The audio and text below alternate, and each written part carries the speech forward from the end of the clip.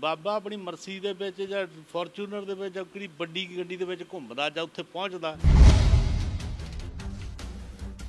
ਉਹ ਜਿਹੜੇ ਲੋਕ ਕਿਲੋਆਂ ਦੇ ਕਿਲੋਮੀਟਰਾਂ ਦੇ ਹਿਸਾਬ ਨਾਲ ਤੁਰ ਕੇ ਸਾਈਕਲਾਂ ਤੇ ਆਉਂਦੇ, ਬਾਬੇ ਨੇ ਕਦੀ ਉਹਨਾਂ ਦਾ ਨਹੀਂ ਖਿਆਲ ਕੀਤਾ ਵੀ ਇਹ ਵਿਚਾਰੇ ਗਰਮੀ ਸਾਈਕਲਾਂ ਤੇ ਮੈਂ ਤਾਂ 에ਅਰ ਕੰਡੀਸ਼ਨ ਗੱਡੀ ਦੇ ਵਿੱਚ ਆਇਆ। ਲੋਕਾਂ ਨੂੰ ਵੀ ਇਹ ਚਾਹੀਦਾ ਵੀ ਉਹ ਬਾਬਾ ਜਾਂ ਐਡੀ ਗੱਡੀ 'ਚ ਫਿਰਦਾ, ਉਹ ਤੁਹਾਡੇ ਪੈਸੇ ਦਿੱਤਿਆਂ ਨਾ ਫਿਰਦਾ। ਜਿਹੜੇ ਕ- ਬਾਬਿਆਂ ਨੂੰ ਅਸੀਂ ਕਹਿੰਦੇ ਹਾਂ, ਚਲੋ ਬਾਬੇ ਦੀ ਰਿਸਪੈਕਟ ਕਰੋ ਬਾਬੇ ਦੀ ਰਿਸਪੈਕਟ ਕਰਨ ਦਾ ਮਤਲਬ ਜਿਹੜਾ ਏਜ ਤੋਂ ਬੰਦਾ ਬਜ਼ੁਰਗ ਬੰਦਾ ਉਹਦੀ ਰਿਸਪੈਕਟ ਨਹੀਂ ਕਰਦੇ। ਜਿਹੜੇ ਬਾਬੇ ਜਾਲੀ ਬਣੇ ਹੋਏ ਨਾ ਉਹ ਤਾਂ ਕ੍ਰਿਮੀਨਲ ਬੰਦੇ ਆ।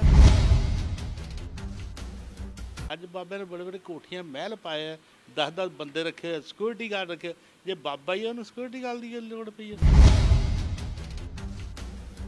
ਜੇ ਤੁਸੀਂ ਕੋਈ ਇਦਾਂ ਦੀ ਸੇਵਾ ਕਰਨੀ ਚਾਹੁੰਦੇ ਆ, ਜਾਂ ਕੋਈ ਤੁਸੀਂ ਕਿਤੇ ਗਰਮੀਆਂ ਨੂੰ ਪਾਣੀ ਪਿਲਾਉਣਾ ਚਾਹੁੰਦੇ ਆ, ਜਾਂ ਲੰਗਰ ਵਰਤਾਉਣਾ ਚਾਹੁੰਦੇ ਆ ਉਹ ਪਾਣੀ ਤੁਸੀਂ ਲਿਆਂਦਾ, ਕਿਤੇ ਗੰਦੇ ਥਾਂ ਤੋਂ ਪਾਣੀ ਭਰ ਕੇ ਤੁਸੀਂ ਲੋਕਾਂ ਨੂੰ ਪਿਲਾਈ ਜਾਂਦੇ ਆ।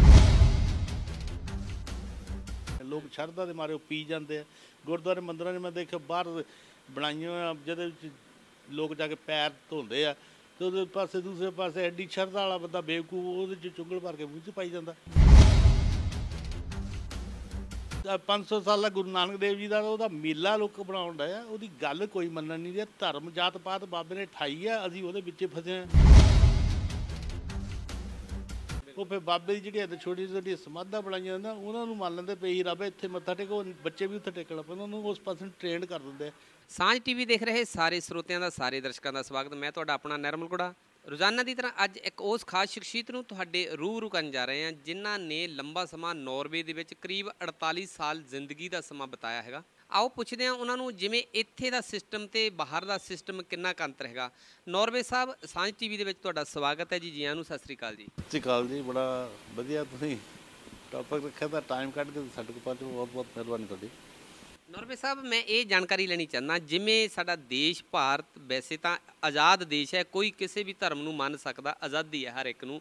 ਪਰ ਇਹ ਹੈ ਵੀ ਅਕਸਰ ਅਸੀਂ ਦੇਖਦੇ ਹਾਂ ਕਿ ਜਦੋਂ ਪਿੰਡ ਤੋਂ ਨਿਕਲਦੇ ਹਾਂ, ਹਰ ਖੂਹ ਤੇ ਚਿੱਟੀ ਮਟੀ ਜਹੀ ਬਣੀ ਹੁੰਦੀ ਆ ਕਬਰਾਂ ਦੇ ਵਿੱਚ ਬਜ਼ੁਰਗ ਪਤਾ ਨਹੀਂ ਕਦੋਂ ਕਿੰਨਾ ਸਮਾਂ ਉਸ ਬਜ਼ੁਰਗ ਕਿੱਦਾਂ ਦਾ ਸੀ, ਉਹ ਦੇਸ਼ ਭਗਤ ਸੀ ਜਾਂ ਨਹੀਂ ਸੀ, ਉਹਨੇ ਕੋਈ ਚੰਗਾ ਕੰਮ ਕੀਤਾ ਜਾਂ ਨਹੀਂ। ਉਹਨਾਂ ਦੀਆਂ ਵੀ ਮਟੀਆਂ ਬਣੀਆਂ, ਲੋਕ ਉਹਨੂੰ ਪੂਜੀ ਜਾ ਰਹੇ ਨੇ ਜਾਂ ਦੇਖ ਰਹੇ ਕਿ ਅਕਸਰ ਢੋਲ ਵੱਜਣ ਡਏ ਨੇ, ਚੌਲ ਵੰਡੇ ਜਾ ਰਹੇ ਨੇ। ਇਦਾਂ ਦਾ ਨਾਰਵੇ ਦੇ ਵਿੱਚ ਜਾਂ ਹੋਰ ਕਿਸੇ ਦੇਸ਼ ਦੇ ਵਿੱਚ ਵੀ ਇਦਾਂ ਦਾ ਸਿਸਟਮ ਹੈ ਜੀ? ਜਿਹੜੇ ਉੱਥੇ ਲੋਕ ਦਫਨਾਏ ਜਾਂਦੇ ਆ ਜਾਂ ਉੱਥੇ ਜਿਹੜਾ ਸਿਸਟਮ ਹੈ ਨਾ, ਉਹ ਇੱਕ ਰਿਲੀਜੀਅਨ ਫੰਕਸ਼ਨ ਉਹਨਾਂ ਦਾ ਹੈਗਾ ਕ੍ਰਿਸਚੀਅਨਾਂ ਦਾ ਆਪਣਾ, ਮੁਸਲਮਾਨਾਂ ਦਾ ਆਪਣਾ, ਸਿੱਖਾਂ ਦਾ ਆਪਣਾ ਹਿੰਦੂਇਜ਼ਮ ਦਾ ਆਪਣਾ। ਇਹ ਤਾਂ ਫੰਕਸ਼ਨ ਇੱਕ ਉਹਨਾਂ ਦੇ ਰਿਲੀਜੀਅਨ ਫੰਕਸ਼ਨ ਆਉਂਦੇ ਆ, ਜਿੱਦਾਂ ਮੈਰਿਜ ਸਿਸਟਮ ਹੈ, ਇਹ ਸਾਰੀਆਂ ਵੱਖਰੇ ਵੱਖਰੇ ਢੰਗ ਹੈਗੇ ਆ। ਜਿਹੜੇ ਬਾਬੇ ਆ, ਉਹ ਨਹੀਂ ਉੱਥੇ ਕੋਈ ਦਿੰਦੇ ਹਾਂ, ਇੱਕ ਬੰਦੇ ਦੀ ਚੰਗੀ ਦਾੜੀ ਚਿੱਟੀ ਆ, ਬਜ਼ੁਰਗ ਉਹ ਤਾਂ ਗੋਰਿਆਂ ਦੀ ਬਹੁਤੀਆਂ ਚਿੱਟੀਆਂ ਦਾੜੀਆਂ ਦਿੰਦੇ ਉਹਨੂੰ ਅਸੀਂ ਬਾਬਾ ਇਹਨਾਂ ਨੂੰ ਸਮਝੀ ਜਾਈਏ। ਹੁਣ ਸਾਡੀ ਪ੍ਰੋਬਲਮ ਜਿਹੜੀ ਇੱਥੇ ਬਾਬੇ ਆ, ਉਹ ਬਾਬਾ ਜਿੱਥੇ ਵੀ ਲੋਕਾਂ ਨੂੰ ਇਕੱਠੇ ਕਰਦਾ, ਉੱਥੇ ਹਜ਼ਾਰਾਂ ਦੇ ਹਿਸਾਬ ਨਾਲ ਲੋਕ ਇਕੱਠੇ ਹੋ ਜਾਂਦੇ ਆ। ਬਾਬਾ ਆਪਣੀ ਮਰਸੀ ਦੇ ਵਿੱਚ ਜਾਂ ਫੋਰਚੂਨਰ ਦੇ ਵਿੱਚ ਜਾਂ ਕਿਹੜੀ ਵੱਡੀ ਗੱਡੀ ਦੇ ਵਿੱਚ ਘੁੰਮਦਾ ਜਾਂ ਉੱਥੇ ਪਹੁੰਚਦਾ ਉਹ ਜਿਹੜੇ ਲੋਕ ਕਿਲੋਆਂ ਦੇ ਕਿਲੋਮੀਟਰਾਂ ਦੇ ਹਿਸਾਬ ਨਾਲ ਤੁਰ ਕੇ ਸਾਈਕਲਾਂ ਤੇ ਆਉਂਦੇ ਬਾਬੇ ਨੇ ਕਦੀ ਉਹਨਾਂ ਦਾ ਨਹੀਂ ਖਿਆਲ ਕੀਤਾ ਵੀ ਇਹ ਵਿਚਾਰੇ ਗਰਮੀ ਸਾਈਕਲਾਂ ਤੇ ਮੈਂ ਤਾਂ 에ਅਰ ਕੰਡੀਸ਼ਨ ਗੱਡੀ ਦੇ ਵਿੱਚ ਆਇਆ। ਇਸ ਕਰਕੇ ਲੋਕਾਂ ਨੂੰ ਵੀ ਇਹ ਚਾਹੀਦਾ ਵੀ ਉਹ ਬਾਬਾ ਜਾਂ ਐਡੀ ਗੱਡੀ 'ਚ ਫਿਰਦਾ ਉਹ ਤੁਹਾਡੇ ਪੈਸੇ ਦਿੱਤਿਆਂ ਨਾ ਫਿਰਦਾ। ਤੁਸੀਂ ਦਸਾਂ ਨੌਂ ਦੀ ਕਿਰਤ ਕਰਕੇ ਬਾਬੇ ਨੂੰ ਦੇ ਕੇ ਆਉਂਦੇ ਬਾਬਾ ਤੁਹਾਨੂੰ ਦਿੰਦਾ ਕੀ ਹੈ? ਉਹ ਚਾਰ ਗੱਲਾਂ ਇਕੱਠੀਆਂ ਕਰਕੇ ਧਰਮਾਂ ਦੀਆਂ ਉਹਦੇ ਵਿੱਚ ਵੀ ਆਪਣੇ ਪਿੱਛੇ ਲਾਉਣ ਵਾਲੀਆਂ ਵਧੀਆ ਗੱਲਾਂ ਕਰਦਾ ਤੁਹਾਨੂੰ ਕੁਦਰਤ ਦੇ ਨਾਲ ਜੋੜਨ ਦੀ ਕੋਈ ਗੱਲ ਨਹੀਂ ਕਰਦਾ ਉਹ ਤੁਹਾਨੂੰ ਕੋਈ ਸਿੱਖਿਆ ਇਦਾਂ ਨਹੀਂ ਦਿੰਦਾ ਤੁਸੀਂ ਪੋਲੂਸ਼ਨ ਘਟਾਓ। ਉਹ ਉੱਪਰ ਦੀ ਗੱਲ ਦੱਸਦਾ ਉੱਪਰ ਦੀ ਜਿਹੜੀ ਉੱਪਰ ਕੀ ਕੋਈ ਫਲੈਟ ਬਣਿਆ ਕਿ ਉੱਤੇ ਕੋਈ ਬਲਾਕ ਬਣਿਆ ਜਿੱਥੇ ਕੋਈ ਇਦਾਂ ਦੀ ਸਿਸਟਮ ਰਹਿੰਦਾ? ਜੀ। ਤੇ ਤੁਸੀਂ ਉਹਨੂੰ ਗਲਤ ਅਪਰੇਟ ਕਰਕੇ ਲੋਕਾਂ ਨੂੰ ਲੋਕ ਉਹਦੇ ਬਾਬਾ ਜੀ ਦੀਆਂ ਅੱਖਾਂ ਵਿੱਚ ਹੀ ਕਰੀ ਜਾਂਦੇ ਕਿਉਂਕਿ ਲੋਕਾਂ ਕੋਲ ਕੰਮ ਹੈ ਨਹੀਂ। ਸਾਡੇ ਹਿੰਦੁਸਤਾਨ ਦੀ ਮੇਨ ਤਰੱਕੀ ਦੇ ਕਾਰਨ ਇਹ ਲੋਕਾਂ ਦਾ ਵੀ ਬਣਦਾ ਜਿਹੜੇ ਅੰਧ ਵਿਸ਼ਵਾਸੀ ਲੋਕ ਹੈ। ਉਹ ਜਿੱਥੇ ਦੇਖਿਆ ਚਾਰ ਇੱਟਾਂ ਪਈਆਂ ਉੱਤੇ ਕਿਸੇ ਨੇ ਬਹੁਤ ਲਫ਼ਜ਼ ਉਦਾਂ ਦੇ ਨਹੀਂ ਵਰਤਣਾ। ਕਈ ਮੈਂ ਇਦਾਂ ਦੀਆਂ ਬਣਾਈਆਂ ਚੀਜ਼ਾਂ ਦੇਖਦਾ ਜੇ ਤੇ ਤੁਹਾਨੂੰ ਸ਼ਰਮ ਆਉਂਦੀ ਹੈ ਜੇ ਗੱਲ ਵੀ ਕਰੋ। ਚਾਰ ਇੱਟਾਂ ਪਈਆਂ ਕੀ ਚੀਜ਼ ਸੀ ਉਹ ਤੇ ਕੁਝ ਵੀ ਨਹੀਂ। ਸਿਰ ਪੈਸੇ ਬਟੋਰਨੇ ਦੀ ਖਾਤਰ ਲਾ ਕੇ ਉੱਥੇ ਬਾਬੇ ਬੈਠ ਜਾਂਦੇ। ਬਾਬੇ ਕੌਣ ਹੈ? ਕਈ ਕ੍ਰਿਮੀਨਲ ਬੰਦੇ ਆ। ਜੇ ਉਹ ਨਹੀਂ ਕ੍ਰਿਮੀਨਲ ਤੇ ਅੱਜ ਜੇਲ੍ਹਾਂ ਦੇ ਵਿੱਚ ਕਈ ਬੈਠੇ ਆ। ਜਿਹੜੇ ਬਾਬਿਆਂ ਨੂੰ ਅਸੀਂ ਕਹਿੰਦੇ ਹਾਂ, ਚਲੋ ਬਾਬੇ ਦੀ ਰਿਸਪੈਕਟ ਕਰੋ। ਬਾਬੇ ਦੀ ਰਿਸਪੈਕਟ ਕਰਨ ਦਾ ਮਤਲਬ ਹੈ ਜਿਹੜਾ ਏਜ ਤੋਂ ਬੰਦਾ ਬਜ਼ੁਰਗ ਬੰਦਾ ਉਹਦੀ ਰਿਸਪੈਕਟ ਕਰਦੇ। ਜਿਹੜੇ ਬਾਬੇ ਜਾਲੀ ਬਣੇ ਹੋਏ ਨਾ ਉਹ ਤਾਂ ਕ੍ਰਿਮੀਨਲ ਬੰਦੇ ਆ। ਉਹਨਾਂ ਦਾ ਤੁਹਾਡੇ ਸਾਹਮਣੇ ਆ। ਕਿਉਂਕਿ ਸਾਡੀਆਂ ਵੋਟਾਂ ਦੀ ਖਾਤਰ ਅਸੀਂ ਕਈ ਵਾਰੀ ਉਹ ਬਾਬਿਆਂ ਨੂੰ ਛੱਡ ਦਿੰਦੇ ਆ। ਉਹ ਅਸਲ ਤਾਂ ਕ੍ਰਿਮੀਨਲ ਆ। ਜਿਹੜੇ ਬਲਤਕਾਰੀ ਆ ਕਈ ਹੁਣ ਬਾਬਿਆਂ ਦੇ ਨਾਂ ਲੂੰਗੇ ਤਾਂ ਲਿਸਟ ਲੰਮੀ ਹੈ ਹਿੰਦੁਸਤਾਨ ਦੇ ਵਿੱਚ। ਉਹ ਬਾਬੇ ਬਲਤਕਾਰੀ ਛੋਟੀ ਛੋਟੀਆਂ ਧੀਆਂ ਭੈਣਾਂ ਦੇ ਨਾਲ ਉਹਨਾਂ ਨੇ ਬਲਤਕਾਰ ਕੀਤਾ ਤੁਹਾਡੀਆਂ ਧੀਆਂ ਉਹ ਸਾਡੀਆਂ ਧੀਆਂ ਭੈਣਾਂ। ਤੇ ਉਸ ਬਾਬੇ ਦੇ ਕੋਲ ਅਸੀਂ ਸਾਲਾਂ ਦੇ ਸਾਲ ਗੁਜ਼ਾਰ ਚੁੱਕਿਆ। ਸਾਨੂੰ ਇਹ ਨਹੀਂ ਸਾਡੀ ਨਿਗਾਹ ਇੰਨੀ ਬੰਦ ਰਹੀ ਕਿ ਬਾਬੇ ਦੀ ਸਾਨੂੰ ਦਿਖਾਈ ਨਹੀਂ ਦਿੰਦਾ ਉਹ ਸਾਡੀ ਧੀਆਂ ਭੈਣਾਂ ਨਾਲ ਕੀ ਕਰ ਰਿਹਾ ਬਾਅਦ ਜਦ ਬੋਲਣ ਲੱਗਦੇ ਫਿਰ ਸਾਰੇ ਹਿੰਦੁਸਤਾਨ ਨਹੀਂ ਬੋਲਣਾ ਸ਼ੁਰੂ ਕਰਦਾ ਜੇ ਉਹ ਸਾਰੇ ਬਾਬਿਆਂ ਤੇ ਨਿਗਾਹ ਰੱਖੋ ਵੀ ਉਹਨਾਂ ਦਾ ਕਰੈਕਟਰ ਤਾਂ ਦੇਖੋ ਇਹ ਕੀ ਚੀਜ਼ ਪਾਇਆ ਕਿੱਥੋਂ ਆ? ਸਾਡੇ ਬਾਬਾ ਜਦ ਕਿ ਇੱਕ ਚਲੇ ਗਿਆ ਤੇ ਦੂਆ ਉੱਥੇ ਝੱਟ ਜੰਮ ਪੈਂਦਾ। ਬਾਬੇ ਦੀ ਕੋਈ ਪਨੀਰੀ ਨਹੀਂ ਹੈਗੀ ਫੁੱਲਾਂਗੜ ਵੀ ਇੱਕ ਉਹ ਗੁਲਾਬ ਦਾ ਉਹਦੀ ਦਾੜੀ ਵੱਢ ਕੇ ਗਾਂ ਲਾਤੀ ਗੁਲਾਬ ਲੱਗ ਜੂਗਾ। ਬਾਬੇ ਬਣਨਾ ਬਹੁਤ ਉੱਚੀ ਗੱਲ ਹੈ। ਪਿੱਛੇ ਸਾਡੇ ਜੇ ਆਪਾਂ ਹਿੰਦੁਸਤਾਨ ਦੀ ਗੱਲ ਕਰੀਏ ਪੀਰ ਫਕੀਰ ਹੋਏ ਆ ਜਿਨ੍ਹਾਂ ਨੇ ਲੋਕਾਂ ਨੂੰ ਮੱਤ ਦਿੱਤੀ ਹੈ ਉਹ ਆਪ ਜਿੱਥੇ ਰਹਿੰਦੇ ਸੀਗੇ ਅਸੀਂ ਉਹਦਾ ਵੀ ਧਿਆਨ ਰੱਖੀਏ। ਉਹ ਕਿਹੜੀ ਜਗ੍ਹਾ 'ਚ ਰਹਿੰਦੇ ਸੀਗੇ? ਉਹ ਗੁਫਾ 'ਚ ਰਹਿੰਦੇ ਸੀਗੇ ਕਿਸੇ ਦਰਖਤ ਥੱਲੇ ਰਹਿੰਦੇ ਸੀਗੇ। ਅੱਜ ਬਾਬੇ ਨੇ ਬੜੇ ਬੜੇ ਕੋਠੀਆਂ ਮਹਿਲ ਪਾਏ ਆ 10-10 ਬੰਦੇ ਰੱਖੇ ਸਿਕਿਉਰਿਟੀ ਗਾਰਡ ਰੱਖੇ ਜੇ ਬਾਬਾ ਹੀ ਆ, ਉਹਨੂੰ ਸਿਕਿਉਰਿਟੀ ਗਾਰਡ ਦੀ ਲੋੜ ਪਈ ਹੈ ਇਹੀ ਸਾਡੇ ਪੋਲੀਟੀਕਲ ਬੰਦੇ ਦਾ ਹਾਲ ਹੈ। ਉਹਨਾਂ ਸਿਕਿਉਰਿਟੀ ਜਦ ਤੁਸੀਂ ਭਲੇ ਦਾ ਕੰਮ ਕਰਦੇ ਕੋਈ ਡੰਗ ਨਹੀਂ ਮਾਰਦਾ ਤੁਹਾਡੇ। ਤੁਹਾਡੀ ਰਿਸਪੈਕਟ ਕਰੂਗੇ ਇਹੀ ਹਾਲ ਬਾਬਿਆਂ ਦਾ। ਬਾਬਿਆਂ ਨੇ ਗਲਤ ਮਲਤ ਕੰਮ ਕਰਨੇ ਆ। ਵਿੱਚੋਂ ਕੋਈ ਨਾ ਕੋਈ ਬੰਦਾ ਉੱਡਾ ਬੜਾ ਐਕਸ਼ਨ ਨਹੀਂ ਕਰ ਸਕਦਾ। ਤੋ ਉਹ ਤੋਂ ਡਰਦੇ ਫਿਰ ਹਥਿਆਰ ਰੱਖ ਲੈਂਦੇ ਮਰਵਾ ਵੀ ਦਿੰਦੇ। ਮਤਲਬ ਬਾਬਿਆਂ ਦਾ ਕੰਮ ਇਨਸਾਨ ਨੂੰ ਮਾਰਨਾ ਨਹੀਂ ਹੈਗਾ। ਉਹਨਾਂ ਦੀ ਸਿਹਤ ਦਾ ਧਿਆਨ ਰੱਖਣਾ ਉਹਨਾਂ ਨੂੰ ਕੋਈ ਅਕਲ ਦੀ ਗੱਲ ਕਰਨੀ। ਹਾਂ ਕਈ ਬਾਬੇ ਵਿੱਚ ਹੋਊਗੇ ਜਿਹੜੇ ਸਕੂਲ ਖੋਲਦੇ ਆ। ਉਹ ਸਕੂਲ ਦੇ ਨਾਲ ਕਰਦੇ ਕੀ ਆ? ਇਹ ਨਹੀਂ ਸਕੂਲ ਖੋਲਤਾ, ਅਸੀਂ ਮੰਨ ਲਿਆ ਜੀ ਬਾਬੇ ਨੇ ਸਕੂਲ ਖੋਲਤਾ ਜਾਂ ਹਸਪੀਟਲ ਖੋਲਤਾ। ਉਹਦੇ ਵਿੱਚ ਉਹਨਾਂ ਲੋਕਾਂ ਨੂੰ ਉਹ ਜਵਾਬ ਦੇ ਦੇ ਕਿ ਉਹਨਾਂ ਨੂੰ ਹੀ ਮੋਰੇ ਰਹਿੰਦੇ ਜਿਹੜੇ ਉਹਨਾਂ ਦੇ ਨੇੜੇ ਨੇੜੇ ਆ, ਜਿਹਨੂੰ ਆਪਾਂ ਪੰਜਾਬੀ 'ਚ ਕਹਿੰਦੇ ਚਮਚੇ ਲੋਕ। ਉਹਨਾਂ ਨੇ ਆਮ ਲੋਕਾਂ ਨੂੰ ਉੱਥੇ ਕੁਆਲੀਫਾਈਡ ਹੈ ਕਿ ਨਹੀਂ, ਉਹ ਬਾਬੇ ਜੀ ਦਾ ਉਹ ਬਣਾ ਦਿੰਦੇ। ਬਾਬੇ ਦਾ ਕੋਈ ਉਸ ਨੇ ਮਤਲਬ ਨਹੀਂ, ਜਿੱਦਾਂ ਹੀ ਲਾਈਫ ਮੇਰੀ ਹੈ, ਉਦਾਂ ਦੀ ਬਾਬੇ ਦੀ ਹੈ। ਉਦਾਂ ਇੱਕ ਬੰਦਾ ਸੜਕ ਤੇ ਸੁੱਤਾ ਪਿਆ, ਵਿਚਾਰਾ ਉਹਦੀ ਹੈ। ਹੁਣ ਦੇਖਣੀ ਤਾਂ ਲਾਈਫ ਕਿੱਦਾਂ ਦੀ ਬਤੀਤ ਉਹਨੂੰ। ਉਹ ਬਾਬਾ ਕਰਦਾ ਕੀ ਹੈ? ਕੁਝ ਬਾਬੇ ਹੈਗੇ ਆ ਹਿੰਦੁਸਤਾਨ ਦੇ ਵਿੱਚ ਜਿਨ੍ਹਾਂ ਨੇ ਬੜੇ ਬੜੇ ਹਸਪੀਟਲ ਵੀ ਖੋਲ੍ਹੇ ਆ। ਹੁਣ ਹਰਿਆ ਦਰਖਤਾਂ ਦੇ ਉੱਤੇ ਕਈ ਬਾਬੇ ਇਦਾਂ ਦੇ ਜਿਹੜੇ ਕੰਮ ਕਰਦੇ ਉਹਨਾਂ ਤਾਂ ਅਸੀਂ ਚਲੋ ਇਹਦੀ ਰਿਸਪੈਕਟ ਦੇ ਤੌਰ ਤੇ ਬਜ਼ੁਰਗ ਨੂੰ ਅਸੀਂ ਬਾਬਾ ਕਹਿੰਦੇ ਆ ਉਹ ਲਫ਼ਜ਼ ਬਾਬਿਆਂ ਤੱਕ ਰੱਖਣਾ ਚਾਹੀਦਾ ਉਹਦੀ ਕੰਮ ਕੀ ਕਰਦਾ ਸਾ ਅਸੀਂ ਬਗੈਰ ਕੰਮ ਤੇ ਕਦੋਂ ਵੋਟਾਂ ਦੀ ਖਾਤਰ ਉਹਨਾਂ ਬਾਬੇ ਬਣਾ ਕੇ ਪੇਸ਼ ਕਰਨੇ ਲੋਕਾਂ ਦੇ ਕੁਛ ਨਾ ਕੁਛ ਇਹਦੇ ਤੇ ਕੋਈ ਲਫ਼ਜ਼ ਤੁਹਾਨੂੰ ਸ਼ਰਮ ਆਉਣੀ ਚਾਹੀਦੀ ਇਦਾਂ ਦੇ ਬਾਬੇ ਦਾ ਮਗਰ ਲੱਗਣ ਜਿਵੇਂ ਕਿਸੇ ਨੂੰ ਅਹ, ਕੋਈ ਅਹ, ਘਰ ਦੇ ਵਿੱਚ ਬੇਰੁਜ਼ਗਾਰੀ ਕਰਕੇ ਜਾਂ ਘਰ ਦਾ ਕੋਈ ਬੱਚਾ ਜਾਂ ਘਰ ਦਾ ਕੋਈ ਜੀ ਨਸ਼ਾ ਕਰਦਾ ਹੋਣ ਕਰਕੇ ਤਾਂ ਚਿੰਤਾ ਪੈ ਜਾਂਦੀ ਘਰ ਦੇ ਵਿੱਚ ਤੰਗੀ ਤੁਰਸੀ ਆ ਜਾਂਦੀ ਆ। ਉਹਦੇ ਹੱਲ ਦੇ ਲਈ ਵੀ ਲੋਕ ਜਾਂ ਖਾਸ ਕਰਕੇ ਬੀਬੀਆਂ ਉਹ ਬਾਬਿਆਂ ਦੇ ਕੋਲ ਤੁਰ ਪੈਂਦੀਆਂ ਸਗੋਂ ਜਿਹੜਾ ਕੋਲ ਹੁੰਦਾ ਪੱਲੇ ਦੇ ਵਿੱਚ ਉਹ ਵੀ ਅ, ਲੁਟਾ ਕੇ ਆ ਜਾਂਦੀਆਂ ਹੈਗੀਆਂ। ਤੇ ਇਹਦੇ ਲਈ ਕੀ ਕਹਿਣਾ ਚਾਹੁੰਦੇ ਹੋ ਤੁਸੀਂ? ਇਹਦੇ ਨਾਲ ਦੇਸ਼ ਤਰੱਕੀ ਵੱਲ ਜਾਏਗਾ ਜਾਂ ਇਹ ਲੋਕ ਮਾਨਸਿਕ ਰੋਗੀ ਹੋਰ ਹੁੰਦੇ ਜਾਣਗੇ? ਨਹੀਂ ਮੈਂ ਤਾਂ ਪਹਿਲਾਂ ਹੀ ਕਹਿੰਦਾ ਵੀ ਜਿਹੜੇ ਬੱਚੇ ਚੁੱਕਣ ਦੀ ਬਿਮਾਰੀ ਹੈ ਨਾ ਉਹ ਮਾਨਸਿਕ ਰੋਗ ਤੋਂ ਆਈ ਹੈ ਉਹ ਤਾਂ ਮਾਨਸਿਕ ਰੋਗ ਜਿੱਦਾਂ ਮਲੇਰੀਆ ਦੀ ਬਿਮਾਰੀ ਫੈਲਦੀ ਇਦਾਂ ਹੋਰ ਬਿਮਾਰੀਆਂ ਦੇ ਵਿੱਚ ਵੀ ਮਾਨਸਿਕ ਬਿਮਾਰੀ ਸਾਨੂੰ ਹੈਗੀ ਹੈ ਰਿਲੀਜੀਅਨ ਫੰਕਸ਼ਨ ਦੇ ਉੱਤੇ ਮਾਨਸਿਕ ਬਿਮਾਰੀ ਹੈ। ਜਿੱਥੇ ਨਹੀਂ ਜਿਹੜੀ ਚੀਜ਼ ਦੇ ਉੱਤੇ ਲਈ ਅਸੀਂ ਲੋਕਾਂ ਦੀ ਹੈਲਪ ਕਰਨ ਦਾ ਬਹਾਨਾ ਲਾ ਕੇ ਜੇ ਤੁਸੀਂ ਕੋਈ ਇਦਾਂ ਦੀ ਸੇਵਾ ਕਰਨੀ ਚਾਹੁੰਦੇ ਆ, ਜਾਂ ਕੋਈ ਤੁਸੀਂ ਕਿਤੇ ਗਰਮੀਆਂ ਨੂੰ ਪਾਣੀ ਪਿਲਾਉਣਾ ਚਾਹੁੰਦੇ ਆ, ਜਾਂ ਲੰਗਰ ਵਰਤਾਉਣਾ ਚਾਹੁੰਦੇ ਆ ਉਹ ਪਾਣੀ ਤੁਸੀਂ ਲਿਆਂਦਾ ਕਿਤੇ ਗੰਦੇ ਥਾਂ ਤੋਂ ਪਾਣੀ ਭਰ ਕੇ ਤੁਸੀਂ ਲੋਕਾਂ ਨੂੰ ਪਿਲਾਈ ਜਾਂਦੇ ਆ। ਲੋਕ ਸ਼ਰਧਾ ਦੇ ਮਾਰੇ ਉਹ ਪੀ ਜਾਂਦੇ ਆ। ਗੁਰਦੁਆਰੇ ਮੰਦਰਾਂ 'ਚ ਮੈਂ ਦੇਖਿਆ ਬਾਹਰ ਬਣਾਈਆਂ ਜਿਹਦੇ ਵਿੱਚ ਲੋਕ ਜਾ ਕੇ ਪੈਰ ਧੋਂਦੇ ਆ ਤੇ ਉਹਦੇ ਪਾਸੇ ਦੂਸਰੇ ਪਾਸੇ ਐਡੀ ਸ਼ਰਧਾ ਵਾਲਾ ਬੰਦਾ ਬੇਵਕੂਫ ਉਹਦੇ 'ਚ ਚੁੰਗਲ ਭਰ ਕੇ ਮੂੰਹ 'ਚ ਪਾਈ ਜਾਂਦਾ। ਉਹ ਜ਼ਮਾਨੇ ਕਿਹੜੇ ਦੀ ਗੱਲ ਕਰਦੇ ਆ? ਜਿਸ ਵੇਲੇ ਇੱਥੇ ਲੋਕ ਐਨ ਸਾਫ਼ ਸੁਥਰਾ ਮੁਲਕ ਸੀਗਾ, ਉਸ ਵੇਲੇ ਦੀ ਗੱਲ ਹੈ। ਇਹ ਲੋਕ ਮਿੱਟੀ ਦੇ ਉੱਤੇ ਰਹਿੰਦੇ ਸੀਗੇ ਜੁੱਤੀ ਪਾਉਂਦੇ ਨੇ ਸੀ ਜਰਾਬਾਂ ਨਾਲ ਸੀ ਪਾਉਂਦੇ। ਉਸ ਵੇਲੇ ਦੀ ਗੱਲ ਕੁਝ ਹੋਰ ਹੈ। ਅੱਜ ਕੁਝ ਗੱਲ ਹੈ ਨੇ ਕੈਮੀਕਲ ਹੁੰਦੇ ਜਾਂ ਇੰਨੀ ਚੀਜ਼ਾਂ ਉਹਦੀ ਸਮੈਲ ਇੰਨੀ ਭੈੜੀ ਹੈ। ਮਤਲਬ ਲੋਕਾਂ ਨੂੰ ਗਿਆਨ ਹੈ ਨਹੀਂ ਉਹਦੀ ਗੱਲ ਜਿਹੜੀ ਤੁਸੀਂ ਗੁਰੂ ਦੀ ਗੱਲ ਕਰਦੇ ਆ ਨਾ ਮੈਂ ਗ੍ਰੰਥ ਸਾਹਿਬ ਦੀ ਗੱਲ ਕਰਦਾ ਉਹਦੇ ਵਿੱਚ ਜਿਹੜੀ ਗੁਰੂ ਹੈ ਨਾ ਉਹਨੂੰ ਉਹ ਗੁਰੂ ਸਾਡਾ ਕੀ ਆ ਜਿਹੜੀ ਅਸੀਂ ਸ਼ਬਦ ਗੁਰੂ ਆ ਜਿਹਨੂੰ ਅਸੀਂ ਪੜ੍ਹ ਕੇ ਆਪਣੇ ਲਾਈਫ ਨੂੰ ਸੁਧਾਰਨਾ। ਉਹ ਪੜ੍ਹਨਾ ਨਹੀਂ ਹੈ ਉਹਦੇ ਸਿਰ ਪੜ੍ਹਨਾ ਹੀ ਨਹੀਂ ਹੈਗਾ। ਪੜ੍ਹ ਕੇ ਉਹ 'ਤੇ ਵਿਚਾਰ ਕਰਨੀ। ਠੀਕ ਹੈ? ਹੁਣ ਅ, 500 ਸਾਲਾ ਗੁਰੂ ਨਾਨਕ ਦੇਵ ਜੀ ਦਾ ਉਹਦਾ ਮੇਲਾ ਲੋਕ ਬਣਾਉਣ ਦਾ ਆ ਉਹਦੀ ਗੱਲ ਕੋਈ ਮੰਨਣ ਨਹੀਂ ਰਿਹਾ ਧਰਮ ਜਾਤ ਪਾਤ ਬਾਬੇ ਨੇ ਠਾਈ ਆ ਅਸੀਂ ਉਹਦੇ ਵਿੱਚ ਫਸੇ ਆ। ਉੱਥੇ ਧਰਮ ਦੀ ਕਿੱਥੇ ਗੱਲ ਹੋਈ? ਮੇਲਾ ਹੋਣਾ ਹੁਣ। ਮੇਰਾ ਗੁੱਸਾ ਕਰਨ ਕੋਈ ਫ਼ਰਕ ਨਹੀਂ ਪੈਂਦਾ। ਮਤਲਬ ਜਿਹੜੀ ਅਸੀਂ ਧਰਮ ਦੀ ਗੱਲ ਕਰਦੇ ਧਰਮੀ ਬਣਨ ਦੀ ਲੋੜ ਆ ਨਾ ਕਿ ਦਿਖਾਉਣ ਦੀ ਲੋੜ ਆ। ਅਸੀਂ ਬਹੁਤੇ ਬਾਬੇ ਦੇ ਨੇੜੇ ਨੇ ਹੋ ਕੇ ਫੋਟੋ ਖਿਚਾਉਂਦੇ ਤੁਸੀਂ ਉਹ ਮਤਲਬ ਤੁਸੀਂ ਲੋਕਾਂ ਨੂੰ ਮਿਸਗਾਈਡ ਨਾ ਕਰੋ। ਠੀਕ ਹੈ ਨਾ? ਉਹਦੇ ਕੰਮ ਦੱਸੋ। ਤੁਸੀਂ ਪਰਸਨਲੀ ਮੈਂ ਆ ਪਰਸਨਲੀ ਮੈਂ ਕੀ ਕਰਦਾ?